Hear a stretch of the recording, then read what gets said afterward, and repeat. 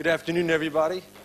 My name is Shalom Segelman. I'm with Capspan, and over the next 10 minutes, what I'm going to do is kind of go through briefly who Capspan is, who the developer of this particular project that we're doing, and most importantly, get you comfortable with uh, investing in New York City with a large-scale developer that has a history and most importantly a track record of doing very large developments. So first of all, the great thing about talking here is everybody in the room is very well educated on EB5.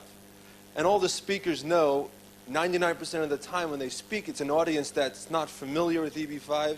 And if they are familiar, they're more importantly confused by EB5. So my job is very easy today. All I have to do is tell you why we're great. So I'm going to tell you about the Uptown House, Capspan as a developer, and how the two come together. Capspan, I'm sorry, as a company and how the two come together.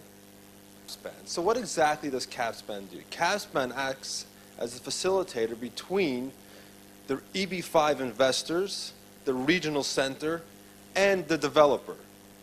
So the advantage of that is, as opposed to a particular regional center, that their goal is their actual project. Very rarely do you see a regional center that's looking after the investors other than bring your money to us.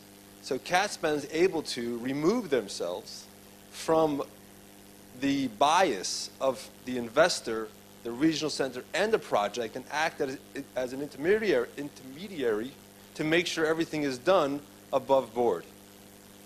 So the project that we're doing right now is a project that we chose. We don't have to take it. We actually do our due diligence on the various projects we do and decided this is a great project and we're going to do it. Thank you very much for your time. I'll be here the rest of the day. And most of you here I haven't met yet because I just got off a plane about three hours ago. And I apologize for missing yesterday. So feel free to come over to myself, introduce yourself, and most importantly, ask me any question you want because you'd be surprised what the answer will be. Have a great day. Thank you. 那我非常感谢大家的聆听。我的飞机是三个小时之前才到，所以我晚了。